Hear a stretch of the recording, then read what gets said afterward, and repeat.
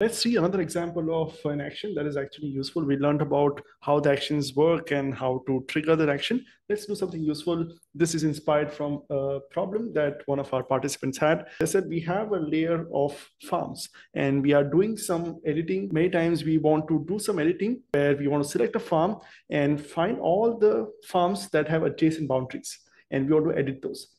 So can I'm trying to build a plugin where I can easily select all the neighboring farms for a given farm. So I can select and I, it'll select all the neighboring farms.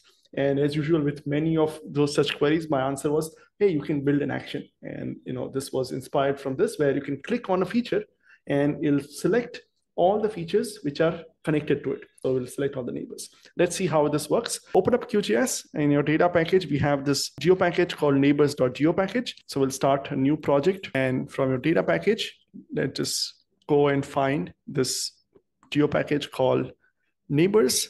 Expand that. Inside of that, there's a project. Go and open up this project. This has got this one layer where we have just displaying the state names. This is the all the lower 50 states of the United States. And we'll just use this as a reference to implement where we want to click on a state and select all the states which have adjacent boundaries.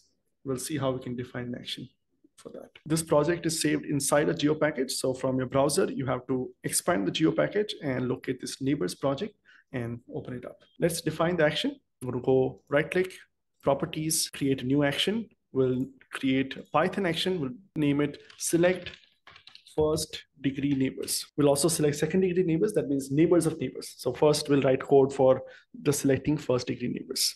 We'll keep the default scope. And in the Python code, let's go and find the code for in the section 12.2. We have the code here in step number three. Let's go and copy paste this code. I'm going to explain this in a while. When the action is triggered, we'll say go and find the ID of the feature that you just clicked on and the layer where you are triggering the action from. We'll get a reference to the layer.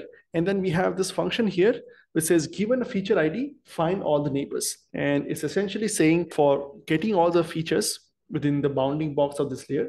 So uh, you don't want to go and iterate through all the layers. Is instead of doing layer.get features, you can say, give me all the layers that are within the bounding box of the current feature. This will use the spatial index and only get the features which are intersecting with the current feature. We get those features, we check if they're intersecting the geometry, and we get the list of those. We are using a list comprehension here for making our code simpler. So list comprehensions we learned earlier, you can write a for loop like this. For C in this, give me c.id. You can also add an if condition. So if the geometry intersects, we can add that ID. So we get a list of IDs, which are neighbors. And once we get the list of neighbor ID features, we can call this function layer.select by IDs. This is again part of the QGIS vector layer class. We can say select by IDs and set all the selections here.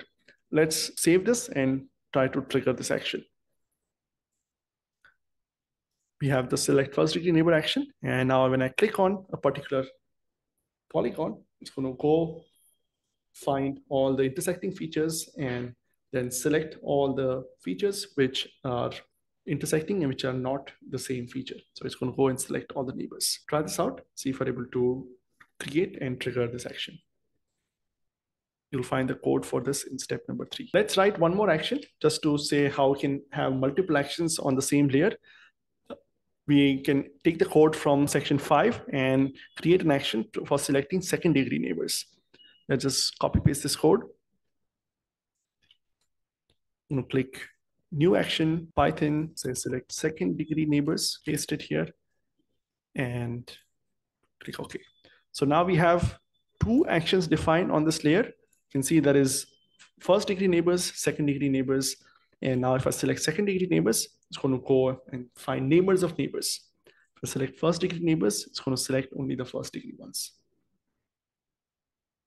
And this is also gives you an idea of how to structure your actions code well, actions are supposed to do only one thing. So if you say, I want to have a plugin which has, we can select neighbors and also second degree neighbors.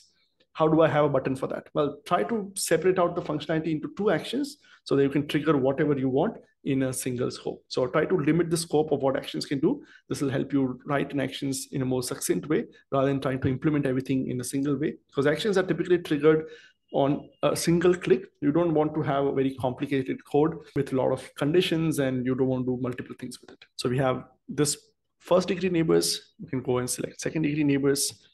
And you can see it works quite fast because it's using spatial index and again, QGIS is able to process this quite fast. We have a problem though.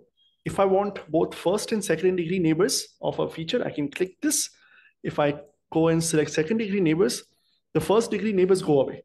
What if I want to select both first and second degree neighbors?